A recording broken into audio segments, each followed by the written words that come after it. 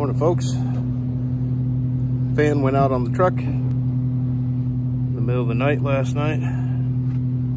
So we're gonna do the the Horton fan clutch on a Detroit. Uh, and that's a fun project, so we'll try to keep the camera going here all day and get every step of the way with it here. So, all right, let's tear the truck apart so we can get back to work.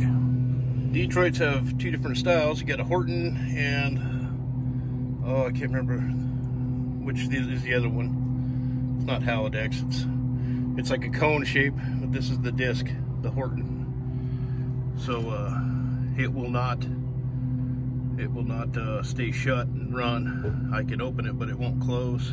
So there's something going on there with the O-rings. We don't know if we're gonna rebuild or just replace it. So we're gonna try to get it out of there as you guys know, I don't pay anybody to do anything on my, for anything if I can't do it myself.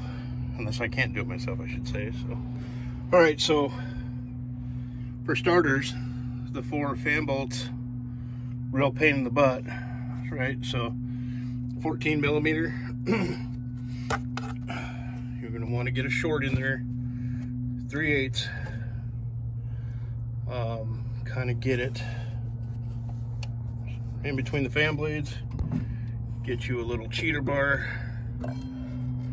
Here we go. A little cheater bar on there. And use that to break them loose. And then you can uh, ratchet those off. So let's keep going here. Let me try to explain to you what comes out of there. Right? You got four of these. And these are coming out like that. So the nuts aren't coming off the whole stud washer nut and everything's coming out of there also a quick quick little diagnose story here right? First thing we checked is the solenoid up there. Uh, you pull the air line off of here hit your fan switch on and off. If you got air coming out well you know your solenoid's working. So next thing is put your your air line back on the fitting down there with the truck off and the truck aired up hit the fan switch. And if you hear air leaking out of here, well then you know you got a busted seal in there or something. So that's what's going on here. You can see this oil around here, little tattletale signs of oil on the fan. So we know we got a blown seal in there. So uh, that's what we got going on. All right, six bolts, not four. Uh, some of them come out with the studs, some of them come out with the nuts. I would suggest, if you're gonna be smart about things, find the nut that fits on there and double nut those so you can get the studs out. It'll help you with get more clearance. Number two, when you call up the Peterbilt dealership and you tell them you need a Horton three belt on a 99 379 and they ask you what the hell you're talking about. What a stupid world we live in. Anyways, bolts are out, fans coming off.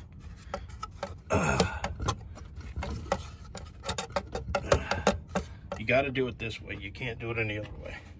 If you think you can take the belts off and take that off, negative, because then you don't have any room to get the whole thing out of there. So, fan comes off and it just sits down here.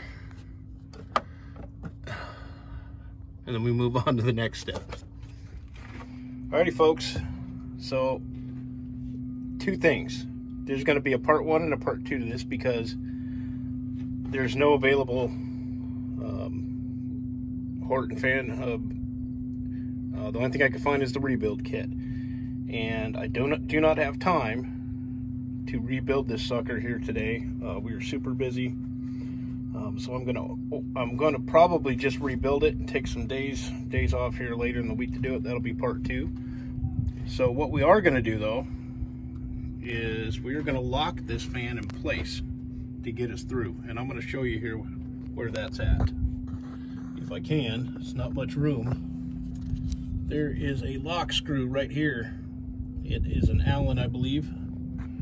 You can drive that in carefully. You don't want to overdo it to where it locks the fan in place. And that'll keep you running um, until you can uh, make make do to to get this all replaced and fixed here.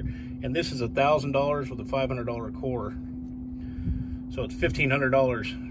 um, to get a new one. the rebuild kit is 450 so of course I'm going to rebuild this myself for 450 that'll be part two so hopefully that helps somebody out. Um, when in doubt remember that you have a locking screw here on the uh, pressure plate right there.